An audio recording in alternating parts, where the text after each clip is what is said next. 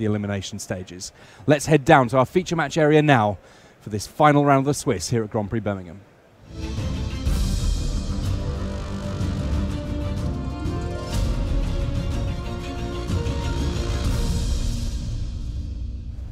Hello and welcome to this round 15, the final round of the Swiss stages of this legacy portion of Grand Prix Birmingham. We have two Grand Prix going on this weekend, and our legacy Grand Prix just a single round away from completion before we get to the Swiss stage, before we get to the elimination stages, should I say.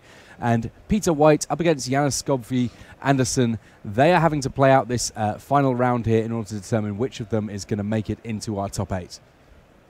Kicking things off with a Gitaxian probe here from Peter White, seeing Diabolic Edict, a couple of lands there alongside uh, Preordained Kolaghan's Command, uh, Fatal Push, and a copy of Brainstorm there.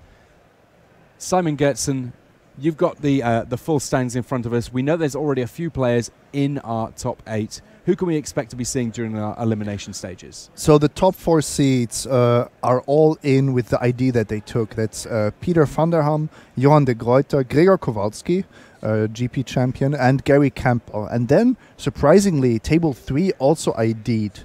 That's Bernardo Santos and uh, Juha Ihonen. And uh, if if you look at these tiebreakers, they have put themselves at risk of um, ending up in ninth place or even ninth and tenth. So their ID is definitely not a safe bet, which is why you see these two players play it out, which is which is definitely a smart choice. Yeah, X and two record very comfortably in the top eight. X and three, suddenly you're playing a tiebreakers game, and if I'm choosing to play a game this weekend, it's going to be Magic the Gathering.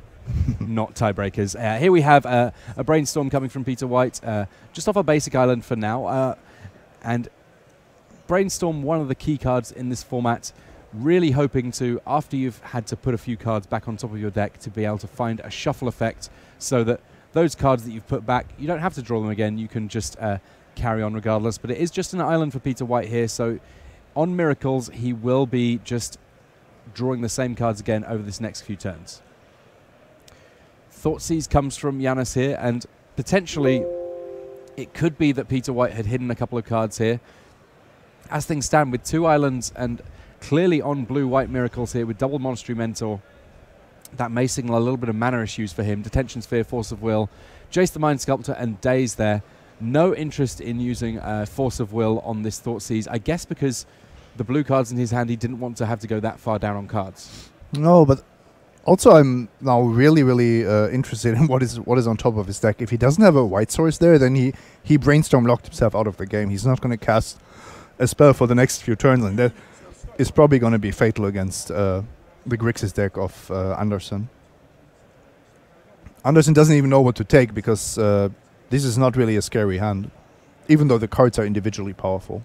Takes probably the most individually powerful card in that hand in Jace the Mind Sculptor, and there is a counterbalance on top of Peter White's deck. Now, this is not quite a completely uh, naked counterbalance, if you will. Peter does know what the top card of his deck is, and he reveals a path to exile on the top of his deck. That's not going to help him cast any more spells, but at least it meant that he was able to counter a preordain on the other side of things. And he kind of just leaves it face up there for a minute, just in case uh, had any intention of casting more one drops. Uh, funnily enough, Anders, Anderson knew that if there was a spell, a one mana spell on White's deck, then at least he wouldn't draw a land. So he was getting he was getting a good outcome either way. As things stand for Peter White, a main deck back to basics that he's drawn there. Another card he's unable to cast, stuck on just two copies of Basic Island. This is not where the Miracles player wants to be. Miracles is a deck that I consider to be kind of a late game control deck, and right now, it even getting to the late game may be a little bit of a challenge here. No, this um, this seems really disastrous. I understand that Gitaxian Probe uh, followed by Brainstorm do give you a good shot, but the, the problem with Brainstorm is the earlier you cast it, the more likely it is that you don't find lands, and then your game is basically over. So, uh, actually, this would have been a really good example of exercising some patience and just saying, "Look, I will, I will sit here until maybe I'm forced to discard, or until things get really uh, bad for me. I even have force of will, so I'm not under real pressure. In fact, uh, this is not a matchup where tempo plays such a huge role. And instead, White fired off the brainstorm, failed to fight lands, and now uh, he's just sitting there with effectively nothing in play. And I guess that another option potentially available to him was casting counterbalance with a brainstorm in hand so that if a big spell got cast, he had the opportunity to put the appropriate thing on top of his deck in response to the counterbalance trigger. Yeah, another uh, another argument for that uh, for being a bit more patient. And I guess that he was able to hide his counterbalance with uh, brainstorm there, but I, I don't know whether or not he could reasonably have expected to uh, to see Thoughtseize when he did. No, I'm I'm really I'm really wondering if if Peter White's keep uh, was warranted or if, if it was just a little bit too optimistic. Force of will there on Hymn to Tourach, uh, having to protect his hand where he can, but not too much that can be done here about Liliana the Last Hope with just an island on top of the deck. At least that island means that he'll be up to three mana, but it's three mana that is all islands. It means his back to basics is looking pretty good, but uh, I don't know if back to basics on its own is going to be enough to get him back in this game, given there's force of wills on both sides of things here to force down Liliana. I think back to basics might be the card that could get him back into this game. If then he manages to prevent uh, Liliana from doing anything too scary, uh, like ultimating, we might have a game here. Throws down that back to basics. Back to basics, a very potent card indeed. Non basic lands do not untap, and there are quite a lot of non basic lands available in a lot of legacy lists. Unusual in some respects that there's already a swamp in play for Yanis, and the fact that he's got two copies of Polluted Delta means that if he's got basics to fetch, he should be able to find them without too much trouble here. Yes, but the the cost is still quite high. Another one of these uh, Urza's Saga cards that are just uh, potentially super powerful. Of course, in some in some formats or in some games, it has almost no impact, but when it does, it's it's a super strong card. Yeah, when you look back to the earlier days of the game, there are certainly some very powerful indeed ways of dealing with particular colors, particular card types. In this case, uh, non-basic lands. Um, that we you don't really see printed anything quite that egregiously powerful to stop a particular strategy these days.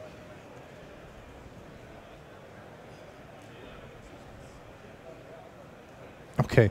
Uh, Anderson announced his Hymn to Tourach, and they were already resolving it before uh, before we saw it. But and with three cards in hand, essentially they were rolling a die to figure out which card would be kept rather than the one that would be discarded, just for efficiency's sake.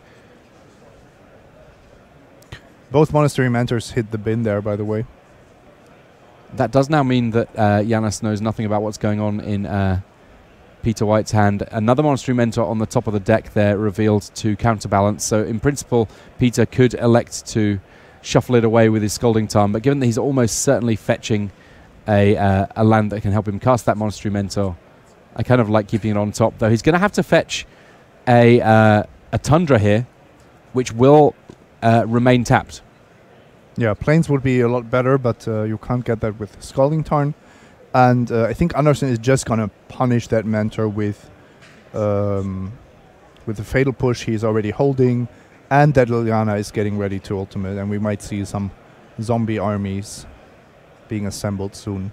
Yeah, as it turns out, Liliana does not mind going back to basics because her basic strategy involves summoning a truly colossal amount of zombies. Yeah, pla- uh, planeswalkers are very good against mana denial strategies, and Anderson is actually not faced here with his uh, setup. It looks like all his cards have been doing so much more than than what White has been up to. Kolaghan's command there coming from uh. Once he can see there's a brainstorm on top of the deck, quite happy to let that one get cast when he knows that it'll be safe. So predict, Terminus, and one more in there. Couldn't quite make out. Uh, revealed off the brainstorm. Being able to put Terminus on top in principle kind of helpful, but when there's not the white mana to cast it and there's already a Liliana ultimate going on, Peter White electing to make discretion the better part of valor, give himself a little bit more time for games two and three, and look to his sideboard to see what he can do in subsequent games. Each of these players as we pointed out at the start of the round, this is a win and in uh, match for them. The final round of the Swiss, if they can advance to 13 and 2, that will be good enough to advance to the elimination stages. We already have Peter van der Ham, uh, John de Gruyter, Gregor Kowalski, and Gary Campbell.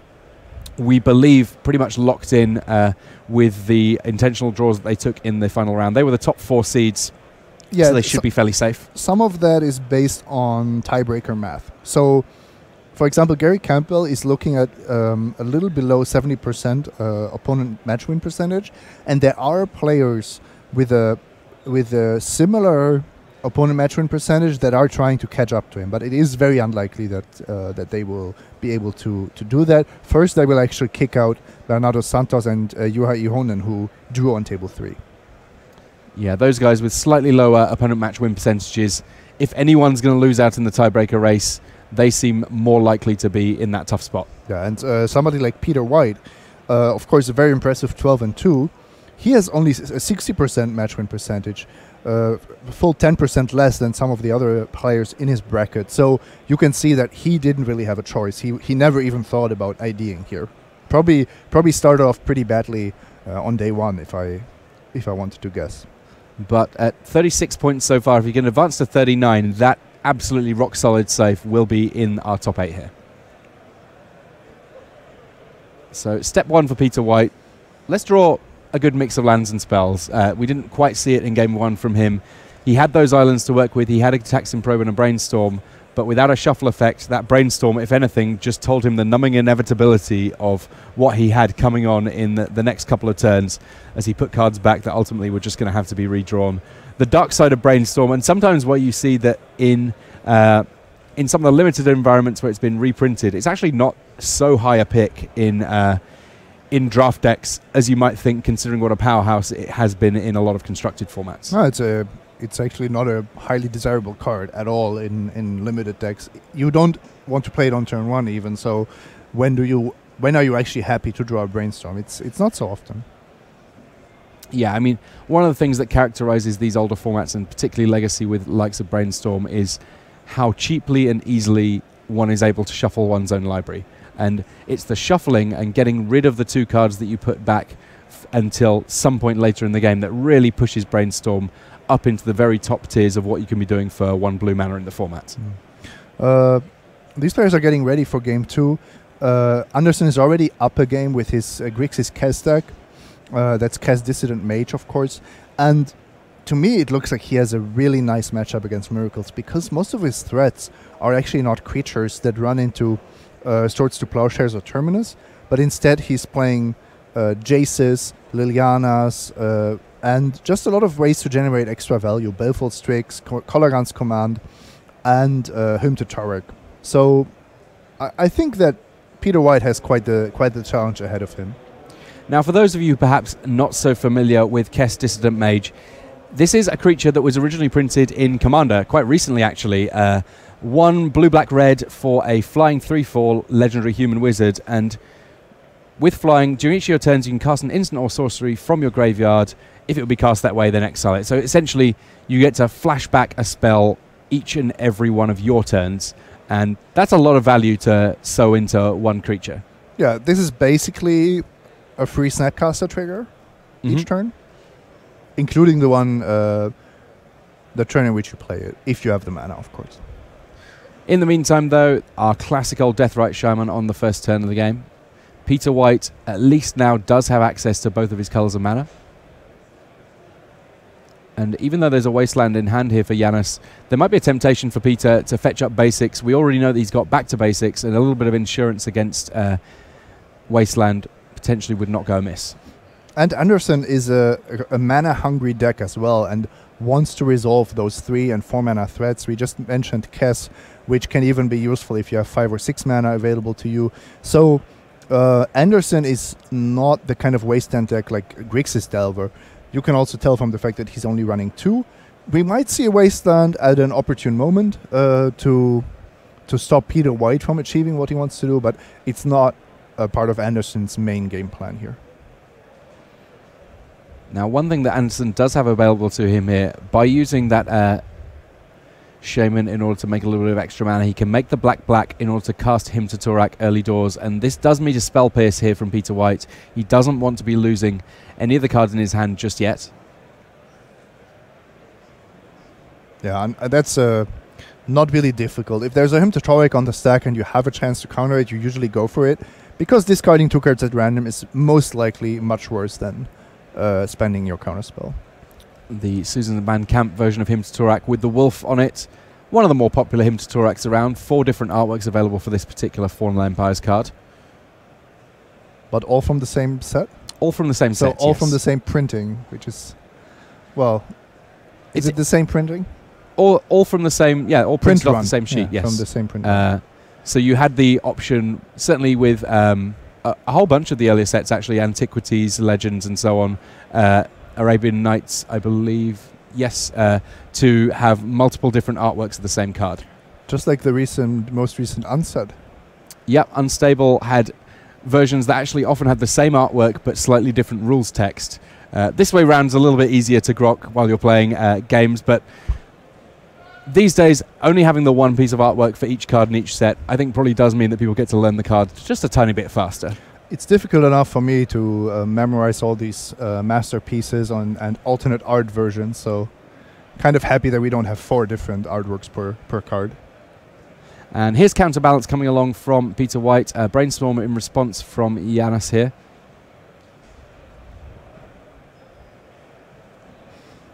A resolved counterbalance always always puts the fear into you that there might just be this string of spells getting countered uh, more or less randomly. Of course, it gets much worse once uh, your opponent also gets a way to manipulate the top of their library. Sensei's Divining Top is not legal anymore, but still, uh, getting getting something like a Jace randomly countered is is a disaster. Although it's of course super unlikely. Uh, counterbalance for four might even be impossible in this uh, in this miracle stack.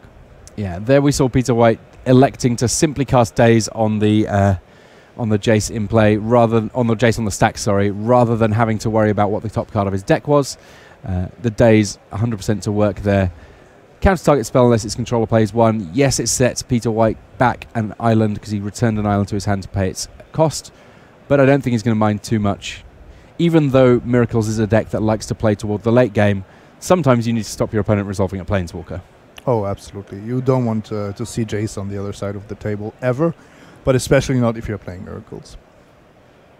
And with a brainstorm in hand, that almost a virtual counterspell against a lot of things that um, Anderson might be doing here. And we do see that brainstorm deployed in response to Baleful Strix here. Having tapped out of most of his coloured mana, the extent to which uh, Yanis can really punish Peter with a second spell after this uh, Baleful Strix kind of limited. No, this is kind of nice. Now the miracles deck is really going here, and you see that counterbalance is still a very potent card. revealing Snapcaster Mage, that enough to counter Baleful Strix. There were thems that suggested that with the banning of Sensei's Divining Top, that counterbalance was completely dead. Moribund maybe, but it's still fighting for this top eight here in Birmingham. Yeah, this is very impressive. I was one of the, the players that thought that we would not see counterbalance again because uh, without Sensei's Divining Top, it just doesn't seem like such a powerful card. But if you play enough enough effects to make it work sometimes, and then you have the random hits as well, it's still just a, a great effect to have. So in response to Wasteland here, uh, Swords to Plowshares on Deathrite Shaman, and in response to that, the Deathrite Shaman being activated, generating a mana, potentially going to sneak through a one drop while the coast is clear, knowing that there's a two cost spell on the top of the deck. Brainstorm does resolve. Now, Pyroblast drawn off the top there by Yanis, in principle, gives him a way of getting out of some kind of a counterbalance position because the Pyroblast does have the ability to destroy a blue permanent, though it must be said that one is one of the easier converted mana costs for Peter White to have on the top of his deck. Yeah, in, in this case, you, what you want to do is you want to bait the counterbalance uh, first with another spell. So, for example, with the Snapcaster Mage, and then if there is not a one on top, uh, then you go for the Pyroblast on the counterbalance. Looking at this board, if, if the counterbalance wasn't there, Anderson would be a huge favorite to win. But with the counterbalance, this Miracles deck always has play.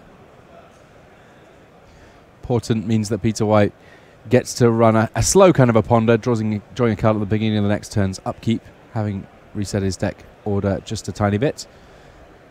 And it's it's that same position we found ourselves in uh, in the last game. A couple of islands in play, but not too much else. And this a great test spell in Snapcaster Mage, threatening so many cards off the top. Predict here coming from Peter White. Yeah, Peter knew the top card of his deck. He knew that it uh, was a polluted delta, so um, it wouldn't have countered the Snapcaster Mage, and he wanted to draw two cards with uh, Predict. Yeah, an interesting little one from Odyssey there. It's amazing how deep a lot of these players have looked to find the potent card drawing cards available to blue, especially those ones that you can play at instant speed. And Anderson has managed what we talked about, and it has to be Pyroblast now just to get the get the rewards. I mean, you can you can continue trying to outplay the counterbalance, but I would have just gotten rid of it. I guess the fact that you saw Jace the Mind Sculptor on top there means that having another card to fight over Jace with looks kind of tempting. Yes, but not having to fight through counterbalance at all time. Also, but what if what if uh, your opponent casts the Jace and and there's a one on top randomly? Then keeping that keeping that pyroblast is already negated by a random effect. All right, so here's a Hymn to Tourach.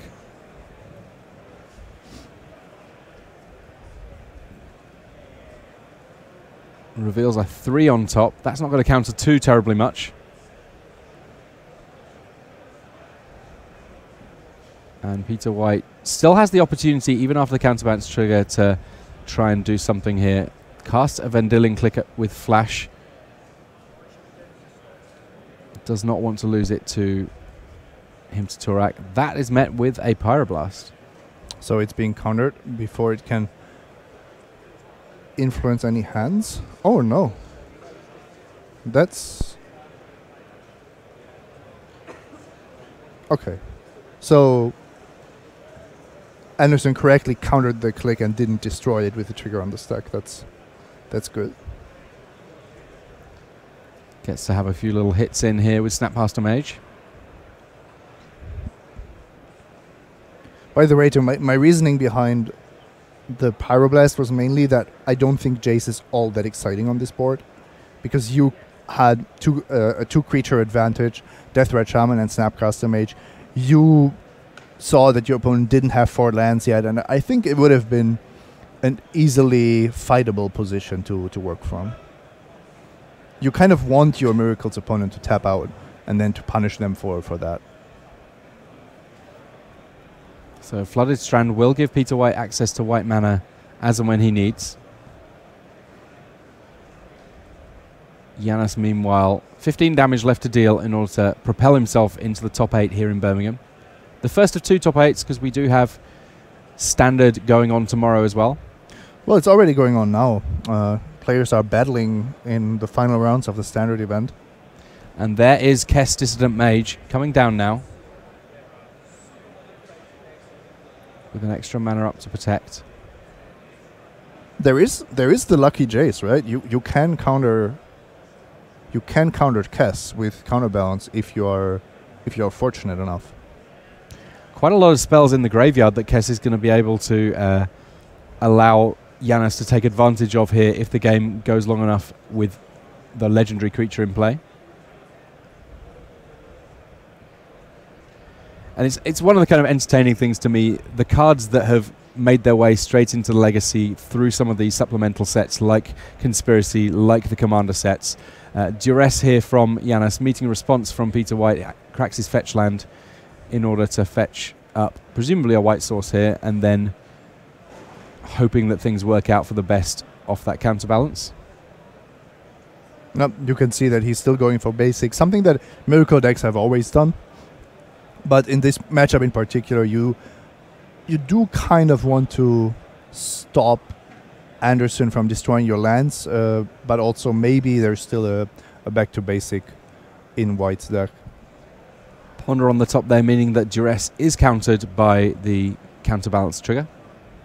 The good thing about the counterbalance trigger, because it's a triggered ability rather than a spell, you're not going to get a big counter war. Um, you can't counter the counterbalance trigger with most of the sorts of effects that you would typically count as counter magic in your deck. There's a lot of counts, but you get the idea. so Jace the Mind Sculptor comes down, bouncing Kess. And if Jace can stay in play for any length of time, that will mean that setting up the top card is a lot easier for Peter White thanks to the zero ability of Brainstorm each and every turn. And this is now this is now the crucial turn. What is what is on top of Peter's library? Casting Kess again. Kess seems like one of the cards most likely to be able to resolve through a counterbalance. I can't imagine there being too terribly many four drops in Peter White's deck. One No, of them in play, of course. It's almost guaranteed to to resolve. Um, I, I believe it's only the second uh, the second Jace in Peter's deck, and Peter might not even show the card on top to not let Anderson know which of his instants or sorceries from the graveyard would resolve here. So Hymn to Tourach gets cast, revealing a land on top, and exactly two cards in hand: Detention Sphere and Ponder, going to the graveyard. Clear path. Deathrite Shaman decides that he wants to rumble with Jace, takes that loyalty down to just a single point. And Peter White drawing a little thin here, kind of having to use the brainstorm ability of Jace just to get something going. That meaning that the Mind Sculptor likely to be exposed to being killed off on attacks this very next turn. But a huge brainstorm here with uh, Swords to Plowshares in the top three. So suddenly, Peter seems to be back in this game, and I, I like his. I like his board if he manages to prevent Deathrite Shaman from from killing his Jace. I, I believe that he has a brainstorm in hand, which is.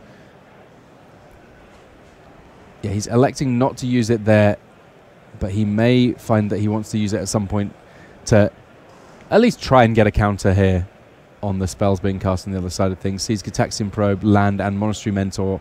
A 3, a 1, and a 0. None of them are going to stop a Baleful Strix casting 2. This has been a rough old uh, series of uh, games for Peter White here. Yeah.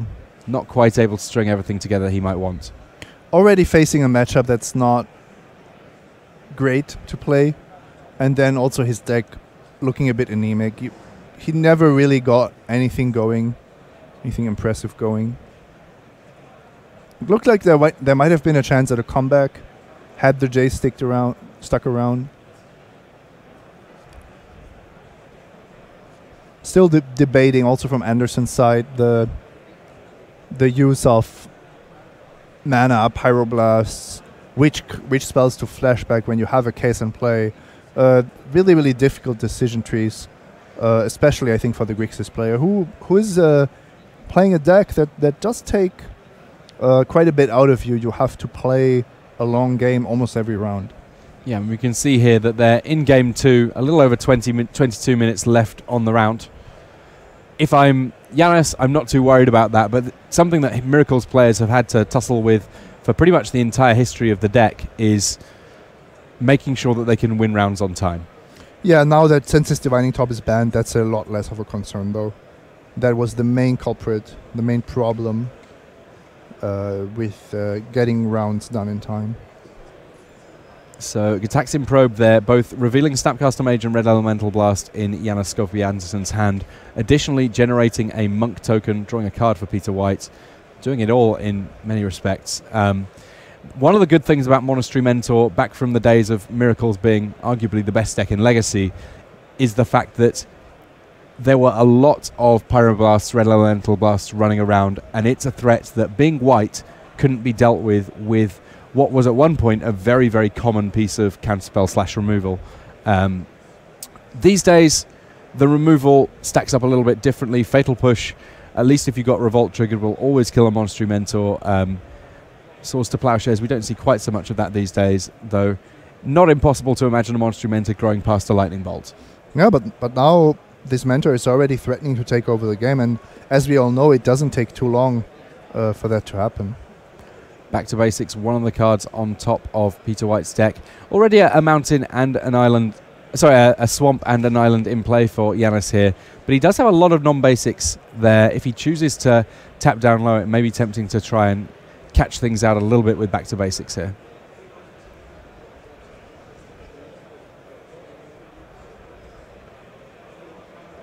Yanis, happy enough to eat spells from Peter White's graveyard. There is the likelihood of Snapcaster Mage at some point, which means that getting them out of his opponent's graveyard an attractive prospect. And here comes a Duress Brainstorm in response. They'll create a monk. There's nothing left to find right now. Lightning Bolt in response to kill off the uh, Monastery Mentor. I like that play.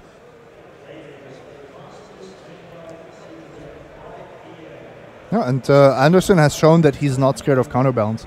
He would would much rather have Peter White have the random uh, counterbalance triggers and fight against his spells. But did Peter now forget one of his uh, monk triggers, or is it still arriving? Because the I think that Peter announced something. I, it looked like he announced uh, that he was he was triggering the monk. difficult to tell when you can't can't hear what's going on. Yeah, Peter White here. No cards in hand, living off the top of his deck in a variety of different ways, partly due to the fact he's got no cards in hand, partly due to the fact that counterbalance is such a big part of his game plan right now. So it looks like the monk token was indeed missed.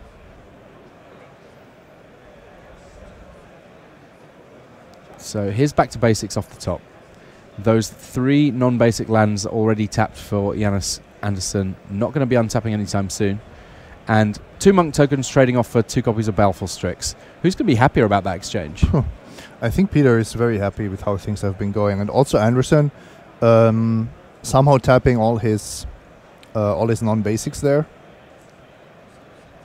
Of course, not really knowing what to expect, but if you're a psychic, you can you can uh, prioritize using your basics. Um, Anderson maybe not uh, playing around back to basics there. Quite a few lands still in the graveyard, I believe, uh, and it's still a Bloodstained Mire and a Scalding Tarn in play, meaning that that Deathrite Shaman can definitely help on the mana front uh, for Janus here. I don't think back to basics is uh, the end of the world for Anderson. He has an active Deathrite. He's draining Peter for two each turn there is a counterbalance. That's the the one trump that Peter has, but he needs something big. He needs a Jace, or or something to to actually do something relevant on this board. Maybe another mentor would be good. Yeah, I mean Janus here. One way of getting around counterbalance: just don't cast any spells. You've got your little one mana planeswalker in play, doing his thing. Here's another monastery mentor, but at least at present, no follow up and Deathrite Shaman can definitely race a Monastery Mentor if it's got to deal a full 20. Yeah, especially if uh, if the score is 20 to 4 and Peter needs to draw some spells first to even trigger it. I think Anderson is clinching a top 8 here in the next two turns. Lots of spells in that graveyard. Even if it worked out that somehow or other Peter managed to get rid of all the cards in his yard, plenty of food for Deathrite Shaman and no need for uh, to push the tempo here any more than he already has. Another copy of Monastery Mentor, I believe, off the top there. And that enough for the handshake. Janus Skovby Anderson, you can see there what this means to him. Locking up a top eight with his Grixis Kess deck. Congratulations to him. 2-0. A little bit of time for him to just get a bit of rest, center himself a little bit because he's got up to three more matches of Magic to play here on Saturday at Grand Prix Birmingham. This is the legacy part of our Grand Prix series here at Birmingham. We have got a standard Grand Prix going on at the same time. As of tomorrow, we will be bringing you all the hottest tech from standard. Do not worry, our text reporters have been going around finding out everything that's been going on from a standard state of mind, which we'll be able to bring you tomorrow. But for today, it's all for today. It's all about legacy. We've already had a lot of good matches, and we believe that we now have five players locking up their top eight slot. That means that we still have a little bit more magic to show you to potentially clear things up and get our full top eight before we go to our elimination stages. I'm going to be interested to see exactly how that breaks down. We've seen a lot of success for variations on brainstorm controlled decks, be they Grixis, be they uh, more uh, four color Leovold decks. A lot of different options there, and even though in principle they're doing the same things with the power of brainstorm and so on, some of them much more at the control end of the mm-hmm. spectrum. Some of them can afford to be a little bit more aggro. And I know that we have at least one. Uh, mono red prison deck that's looking to shake things up in the hands of Gary Campbell from Scot- Scotland. We'll get a chance to see more magic, more people potentially locking up their top eight spots very soon. Do not go anywhere. More magic after these messages.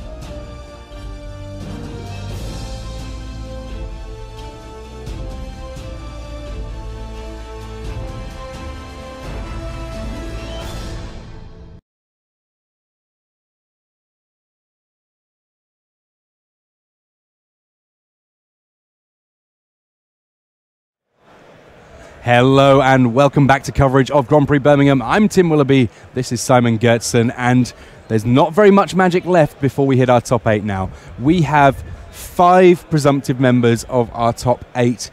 We know that there's been a few intentional draws, some of which are appear to be better ideas than others based on the way that the tiebreakers look right now. But that means that there's also a few matches still going that can determine who is going to be playing in our top eight. Let's head back down to our feature match area to see one of them, and we get a chance to see Alexander Mertens on the left of our screen against Grant Fishman. Each of these players on that 12 2 record, where a win means that they will be in this top eight, and a Cephalid Coliseum followed by a careful study could it be some sort of graveyard shenanigans going on here? I think it might be. So, Alexander Mertens playing a deck that I personally have not seen on camera all weekend, that being Dredge. Golgari Grave, grave Trolls, Golgari Thugs, Stinkweed Imps, all of that good stuff. In Legacy, you even get to do things like casting Lion's Eye Diamond and Breakthrough to get cards into your graveyard. This is a very powerful deck indeed that already has a uh, Golgari Grave Troll in the graveyard, a Cephalid Coliseum in play next turn could be wildly explosive for Alexander Mertens. Yeah, and we, we really haven't seen Dredge all weekend. And now Grant Fishman on the draw, even with a Deathrite Shaman, is looking at a at a dredged Golgari Grave Troll. This could be another super fast game if if Mertens just has a breakthrough in hand, he might be going for the kill on turn two. All right, so a big turn here. Dredge six cards. Faithless Looting. There's an Ichorid. Stinkweed Imp. Bridge from below number one. Street Wraith. Mana Confluence here. Not a great dredge, but at least there was a Stinkweed Imp in there. So you you can continue the chain, making it so much more likely that you will go. Um, that you will never stop dredging, which is the, the main goal of, of this deck. And with Cephalid Coliseum in play, worth noting that we are already at threshold. And now there is a second Coliseum, so Mertens has the mana to activate it. Might even go for it right here, unless he has a, a blue spell that's better suited. How's Breakthrough look for you? How crazy is this card? It's just a single blue draw four. For Dredge, at least. Yeah, Breakthrough. With, up, with upside. Draw four cards, uh, then choose X cards in your hand and discard the rest. In this instance, you don't care about the cards in your hand, you want them in your graveyard. All of a sudden, we've got. Uh, a whole mess of extra cards in the graveyard here for Alexander Mertens. But Mertens failed to find another dredger. It was a it was a close call. He also didn't find an Alchemy So this game is not over. Uh, Mertens has now uh, the ability to slow dredge, and if his land stays in play, he will also get to activate um, Cephalid Coliseum had to discard a Narcomoeba there rather than dredging it. That a little sad because he does have Cabal Therapy in the graveyard, which would have been fantastic alongside the various copies of Bridge from Below that he's got working for him here. A lot of targets for that uh, Deathrite Shaman all of a sudden. Too many, uh, most likely. Uh, no black mana available just yet to take spells from that graveyard. Uh, it's not too relevant though. You, you what you want to be doing right now is you want to stop the dredging, but if there are multiple dredgers, it's not like uh, Mertens has to announce which card he wants to dredge with. It's just a replacement effect. So, um, yeah, this, this is actually probably the best thing he can do. Wastelanding the Coliseum gives him or, or denies three draws off of Mertens. So three draws, that's three dredges. So Ichorid from Torment. This is one of those cards that was in some of the very first iterations of the Dredge list. The 3 1 that gets to come back from the graveyard simply by eating another creature in that graveyard.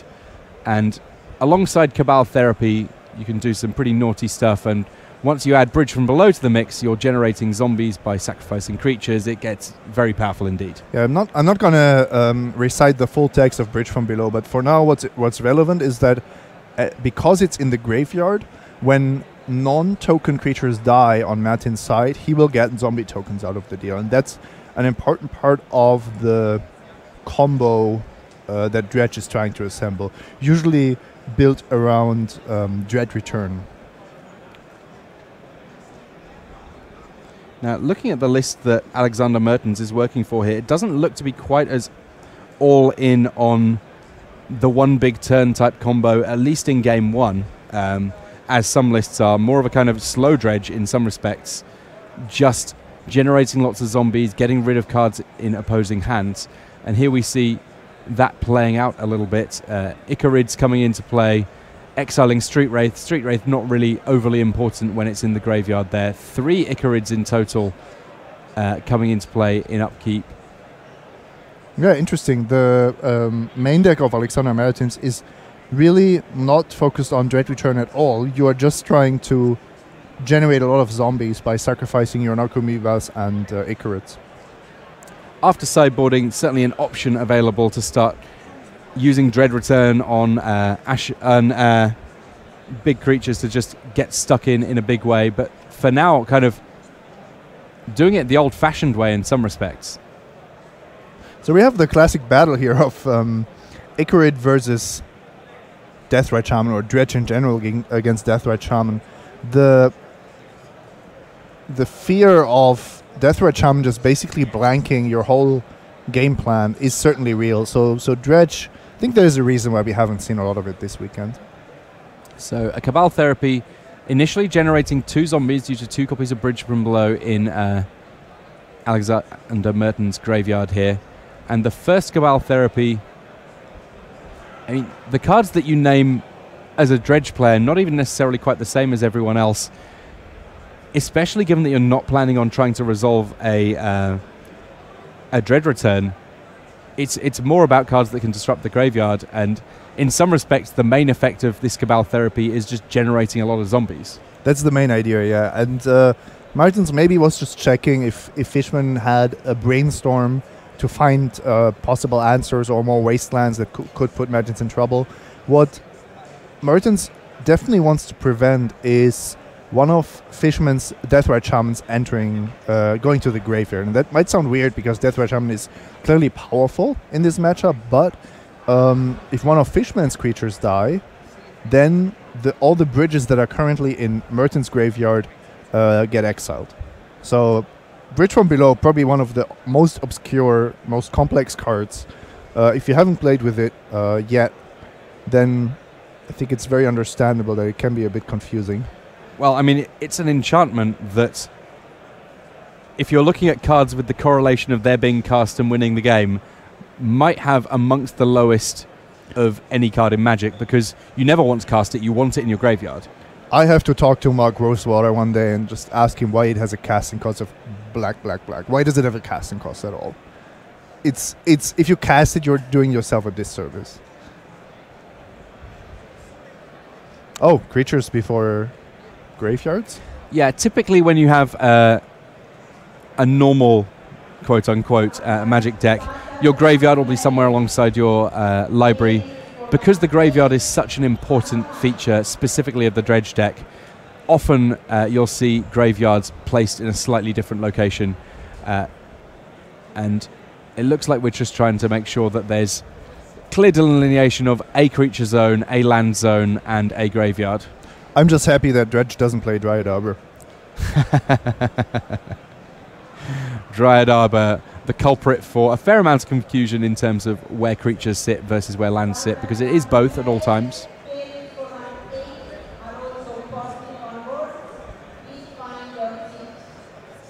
Okay, we figured out a way. One card in hand for Alexander Mertens as well, for what it's worth.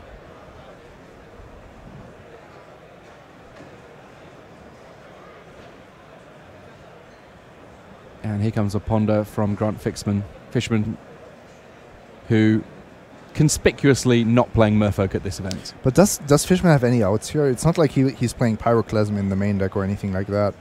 I mean, does he have a lightning bolt to kill one of his own uh, He does, but Deathrite Shaman?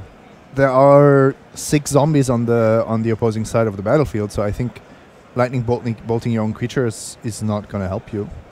Too little, too and, late, maybe. and these Ichorids are also coming back, or most of them will.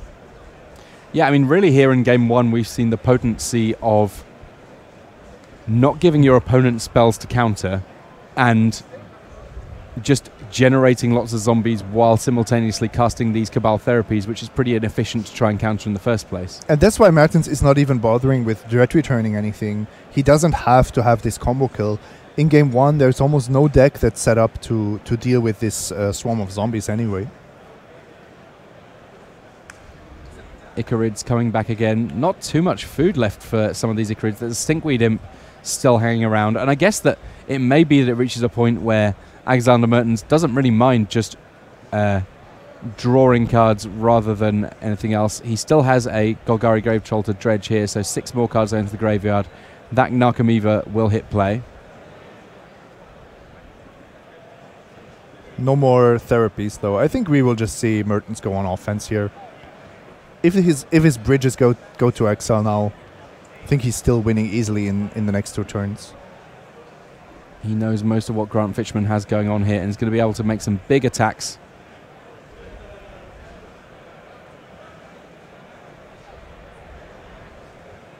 You know what, Simon? I'm not going to be sad if we end up with a dredge deck in our top eight here. I like a little bit of variety. I think it really helps characterize what Legacy is all about. That there are a multitude of very, very power powerful options if you decide that you want to be uh, playing this format. But as things stand, here Alexander electing not to attack that turn, just letting his Ichorids die at the end of turn, meaning four more zombie tokens. There might there might even be a a case of underestimating Dredge because you know it's a that Legacy is currently a Deathrite Shaman uh, world. Then you might just think, oh, who's going to bring Dredge? With Deathrite Shaman, we have the perfect answer in our main decks already. But as you can see here, on the draw, Deathrite Shaman was just far too slow to even matter. Yeah, and it's it's interesting that going for the approach that which I would cons- uh, consider more typical of Dredge of we've got this dread return. We're going to cast it. It's going to be huge. We're going to end the game on turn one or two. Taking this slightly slower approach may just be a better plan because it it really doesn't afford the control deck anything to grab a hold of. Yeah, it looks like you're playing somehow the most consistent game one deck or game one version of Dredge without really giving up anything because um, Dread Return just gives you these sorceries that might be countered uh, gives you an issue against Deathrite Shaman's black activated ability. A bunch of bunch of things which you just don't have to care about in game one when you're playing one of the best game one decks in the format anyway. So here we see one Narcomoeba and a whole host of zombies coming in. Grant Fishman, I think he can survive this attack, but he's not going to be on very much life total after that takes place.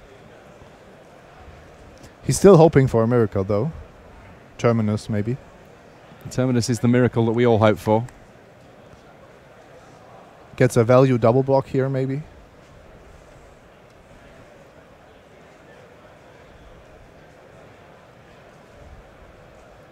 Bridge from Belows do get eaten up when Deathrite Shaman dies. And they're also choosing to eat a few spells here, given that they can. On the way out.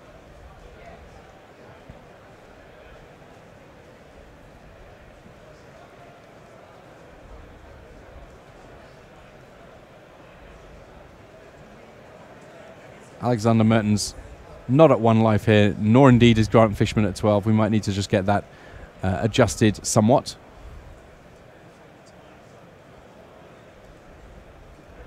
Suffice to say, there we go. Fishman on the brink. Never give up, never surrender. Until it's time to give up, which might be exactly now. Well, I think it was time a few turns ago, but we don't mind seeing a little bit of extra magic here. We're in time walk phase. We are getting to see as much magic as we can before we get to our actual top eight announcement. We'll be bringing you that just as soon as we're able to. And in the meantime, these guys are going to be going on to the game two. And by the magic of time walk, we don't even need to worry about the shuffling and the mulliganing. We go straight in with game two. Mana Confluence, the, the land on turn one from uh, Alexander Mertens here. That's a silent gravestone. Not Grafstone, but Gravestone. It's interesting. Our text reporter, Tobi Henke, was saying that the fact that this is actually a gravestone rather than a Grafstone has really messed with his finger's ability to spell cards because he's so used to typing Grafstone for various different things. And it means that cards in graveyards can't be the target of spells or abilities. In some respects, it normally count, you normally look at it as a graveyard hate card. Actually, it makes life a lot easier for this particular graveyard deck in terms of keeping its cards safe it's a foil. It's a foil for Deathrite Shaman. uh, most importantly. So, in the early stages of this game, Grant Fishman having the answers to a lot of what Alexander Mertens has going on. He's not been able to resolve his first couple of spells, and that could prove very important because just those early enablers really make a big difference to the overall uh, potency of this dredge list. Yeah, and being being on the play here once again making a huge difference. Just having the Daze available, for example. Uh, otherwise, Mertens would have started off uh, much stronger. Now, I like Firestorm quite a bit in Alexander Mertens' hand here. Uh, the big card from Weatherlight. We've seen a few interesting cards from Weatherlight over the course of this weekend, but Firestorm, it's it allows you to discard cards as an additional cost. So, you, as an additional cost, discard X cards and it deals X damage to X targets. So, a nice bit of crowd control against the creatures that Grant Fishman has in play, but more crucially, an uncounterable way of getting cards into that graveyard. Yeah, really cool card. And actually, I don't think we've seen many Weatherlight cards, right? Uh, Veteran Explorer. Okay. Uh, it was a little while ago at the start of the day. We did get a chance to see that one in play. At least from uh, from Mirage Mirage Visions Weatherlight, the the block definitely has had quite the impact on Legacy. Lion's Eye Diamond, of course, in the dredge deck from Mirage. Natural order in Vision's a pretty big deal. Yeah, uh, entirely fair magic cards.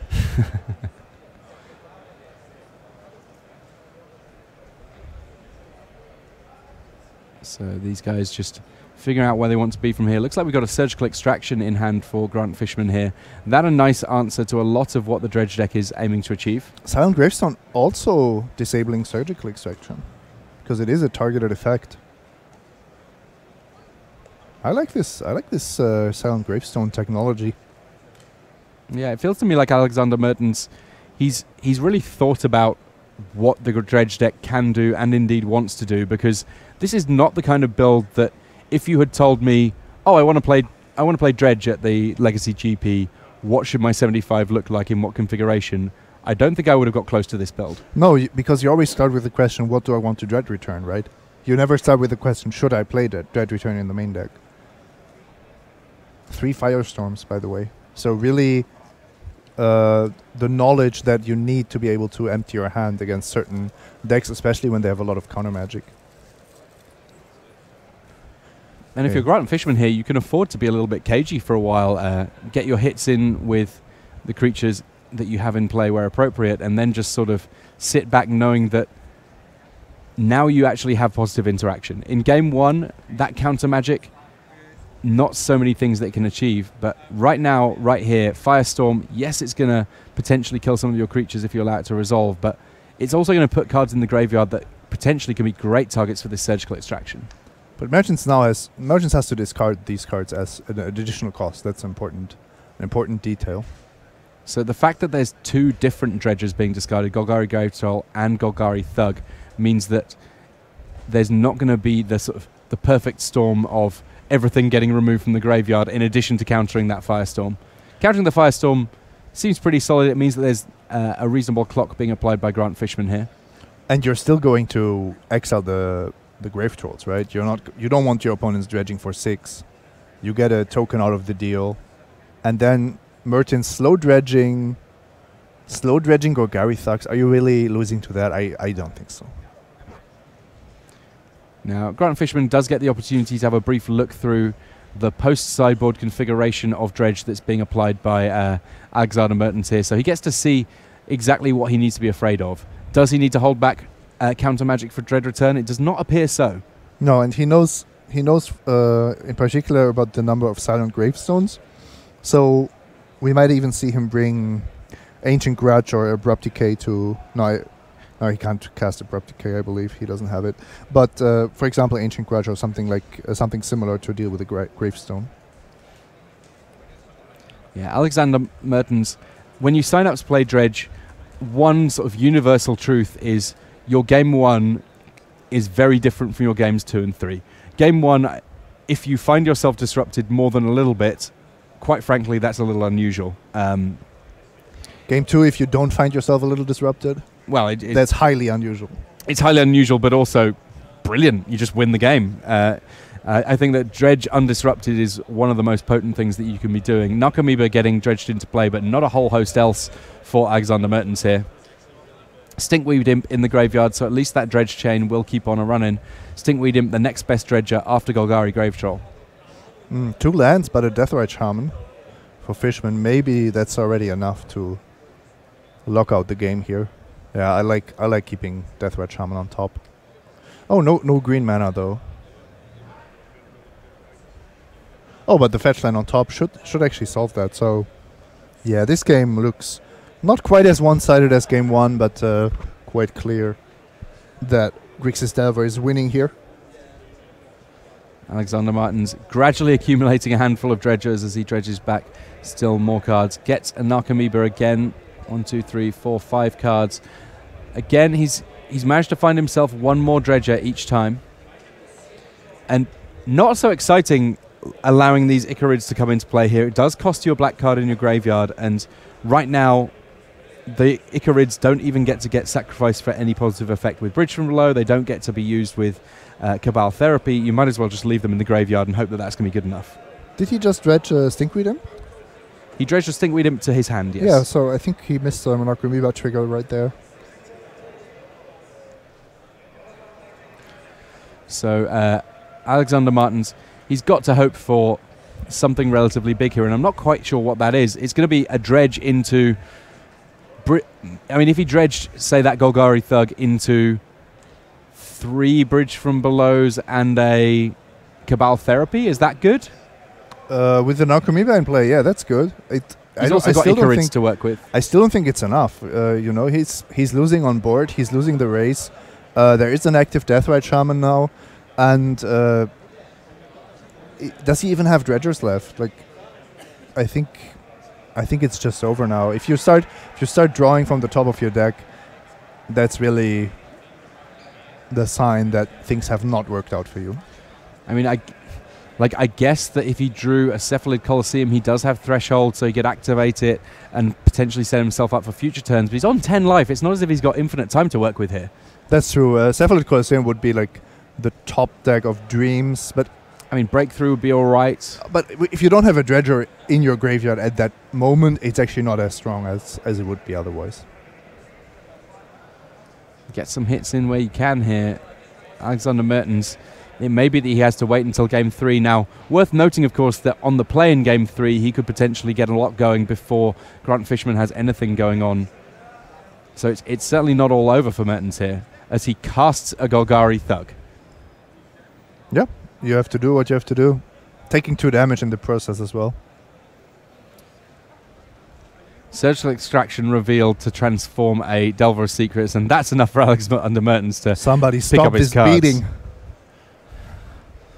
Rebuys, we're trying again. It's game three. This time around, it's Alexander Mertens on the play, and he kicks things off with a Lion's Eye Diamond. Five cards for Fishman. Three cards for Fishman, yeah. sorry has to play a Force of Will on Lion's Eye Diamond as his first play of the game, and that really, you know, showing respect for how powerful the the big rare from Mirage is in this particular deck. It can just achieve a crazy amount. A second copy of Lion's Eye Diamond. This could be gigantic for Alexander Mertens here. Wow, that's huge. Imagine if he has a breakthrough now. No, not a breakthrough, but if he has a uh, uh, Faithless Looting now. Yeah, he discards his entire hand. He does have a Faithless Looting. Red, red, red off that Lion's Eye Diamond. He immediately gets to dredge a Golgari Grave Troll. He's also got a Golgari Thug and a Bridge from Below in the graveyard. This is impressive. Turn one. Opponent on three cards. Zero lands in play. The second dredge will be a Golgari Thug, so a few more cards in the graveyard here. His opponent had a Force of Will. Yeah, for one Lion's Eye Diamond. Another copy of uh, Golgari Grave Troll going into the graveyard. Faithless Looting has resolved. Now can we Kumibas enter the battlefield. Oh, if you're Grant Fishman right now, this has to be a painful, painful moment. After winning game two in such decisive fashion, just a hammer blow to him on this very first turn of game three in our, our match that will ultimately decide one of our members of our top eight here. And you're then you're of course questioning your choices in this particular game. Was it was it right to mulligan aggressively? Was it right to uh, Force of Will that Lion's Eye Diamond, given what you knew, given what you could expect, and uh, it ba- backfiring so badly is uh, really tough to watch. I mean, personally, I feel like Grant made the correct choices. He just found himself on the wrong end of an absolutely monster draw here from Alexander Mertens. I agree. That's what it. That's what it feels like. It's still. It's still a tough pill to swallow, though. So here come the first set of attacks. There's at least one copy of Bridge from Below in the graveyard there. Easy to get mixed up with Street Wraith. Uh, but when that Ichorid dies, we'll see just based on the number of zombies that come into play here for Alexander Mertens.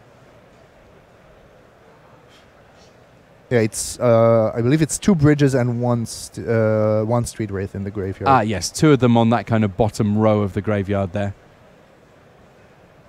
No uh, Cabal therapies, at least. Otherwise, Fishman would sit there with no hand and an army of zombies on the other side. Rough, rough game here for Grant Fishman. He's going to have to find something big if he's going to get back in this one. I'm not even quite sure what that will be in this game three. You wanted to see Dredge in the top eight, Tim. That's what you get. Wow, I get everything I want now. This is a. I'm having the best day. I want a boat. Can I have a boat? F- first, you get Dredge in the top eight, and then Then we'll see. then we'll see what else you deserve. Very well. Grant Fishman, you can tell just from his body language here that this is going to be uh, a rough old ask for him in these uh, these next few turns if he's going to find a way back in this game. Mertens playing around Wasteland skillfully. Yeah, never once playing a land this game. Who needs it?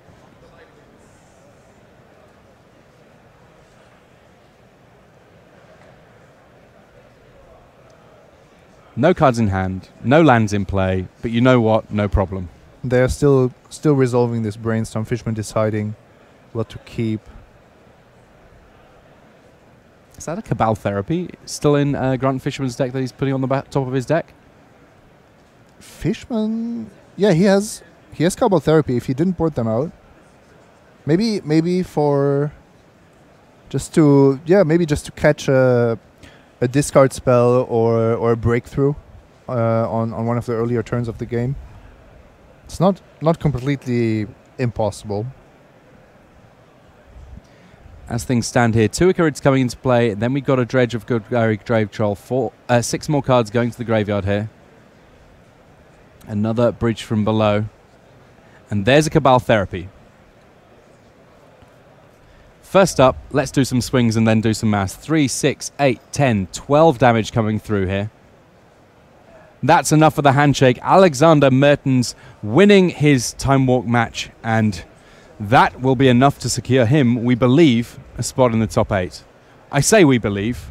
This is a little bit of a, a, a misspeak on my part because I have actually been handed a full set of final standings here from the Swiss stages of the tournament here at Grand Prix Birmingham Legacy Edition. So, with that, I get a chance to inform you of the full top eight that we will be featuring in mere moments. The players just filling in forms, taking photos, and that sort of thing. So, in number one seed, we do have Peter van der Ham. We kind of knew that one. He had taken an intentional draw in the last round, 41 points. Fantastic performance from him. In second place, Johan de Gruyter, 40 points. Very solid. He was in the top eight. We knew about that one. In third place, that's Alexander Mertens. We just saw him winning his match there, going up to 39 from 36 completely solid. Uh, Anderson, we saw him locking up 39 points also. And then there comes the sweat. So six players finished on 37 points, of which only four could be in the top eight. And we know that there was that intentional draw on table three that we believed might have ended up being problematic for at least one of those two players. So in uh, fifth place, we had uh, Gregor Kowalski, sixth, Gary Campbell. We knew that as the numbers three and four seed, they were fairly safe. So it's these last two spots that are the real sweat. In seventh place, we had Bernardo Santos. So that was one of our players that took the intentional draw on Took table the gamble, basically. table three. Took the gamble. It paid off for him. 67 point match win percentage, enough to hit it- the top eight in seventh place. In eighth place, though, Yuta Takahashi. Takahashi-san, he was one of the players playing in this last round. Got up to uh, uh, 37 points and ultimately pushed Yuha Ihonen into ninth place. So that intentional draw for Ihonen did not quite work out. Finally, we had Jesper Christensen, 37 points. Fantastic finish for him, but unfortunately, just 10th place, so he will not be playing in our final elimination stages here on Saturday in Birmingham for our Legacy Grand Prix. That is our top eight. Do not go anywhere because we will have our match play soon enough after these messages.